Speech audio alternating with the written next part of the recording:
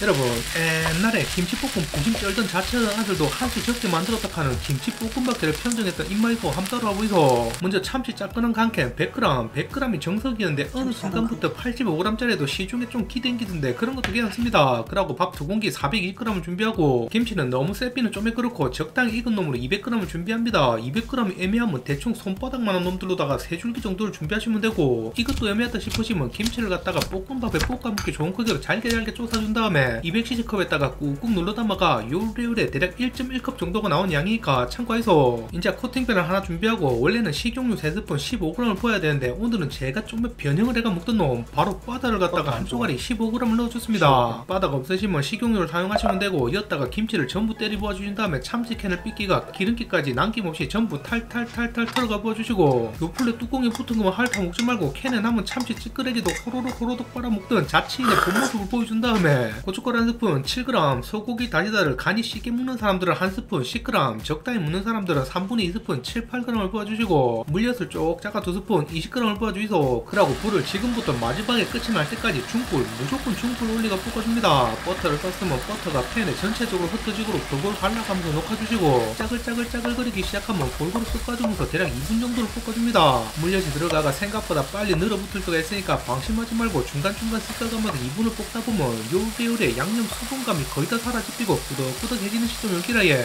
그때 밥 두 공기를 부어가 골고루 섞어가면서 볶아줍니다. 볶다가 보면 와 중불 해야 되는지 알게 될 기라 예 사이드 부분을 보시면 물엿 때문에 양념들이 슬쩍슬쩍 눌러붙는데 임마들이 한 군데 너무 많이 생기면 전체적으로 맛이 좀 떨어질 수가 있으니까 양념이 한 군데 뭉치가 들러붙지 않고 골고루 섞어가면서 대략 1분 20초 정도를 볶아줍니다. 지금쯤이면 저의 역작이라 불리는 된장마요 김치볶음밥이랑 입마이드랑 어떤 게 더 맛있을지 저한테 질문을 하려고 준비하시는 분들이 계실 건데 물론 팔이 안으로 쪼매 굽겠지만 사실은 남이 볶아주는 게 제일로 맛있습니다. 뭐 우야둥둥 1분 20초 정도를 볶고 나들을 골고루 싹싹 펼치가 대략 20초 정도씩 중불에 그대로 방치해가 아들이 쪼매씩 눌러붙게 맹그는 걸 갖다가 두 차례 정도로 반복해주시면 이거 이거 보시지 해. 다들 잘 아는 2000년대 중반을 강타했던 충격의 김치볶음밥이 완성되는 기라 예 이거는 2인분이니까 총 김복의 핵심 노른자 살린 계란 후라이 두 개를 꼬부가 올려주고 통깨 반 스푼 2g 정도를 오도독 오도독 오도독 부사가 밥 위로 골고루 뿌리가 올려주시면 김치볶음밥 레시피로 빵꾸 좀 끼재낀다는 아들도 내가 쳤어 하면서 패배를 인정하게 만든 충격의 김치볶음밥이 완성되는 겁니다 먼저 한 숟갈 먹으면 내도 모르게 두 그릇 다 묵비는 맛이니까 묵기 전에 같이 먹을 사람 몫을 들어주고 계란도 한 개 얹혀가 공부하고 계신 마누님께 배달을 좀 해주고 오늘 저녁 편하게 OTT 보면서. 혼술 한잔 먹을 수 있는. 후기를 만들어준 다음에 뿌덕한 노른자 퍼가 밥에 쓱쓱쓱 발라가 내도 한 입 먹으면 오야르 바로 이만 아니겠습니까 이 작물 때쯤 되면 꼭 다시 한번 해모야 된다 하는 이 볶음밥 만든 분께 감사드리면서 시청해주시고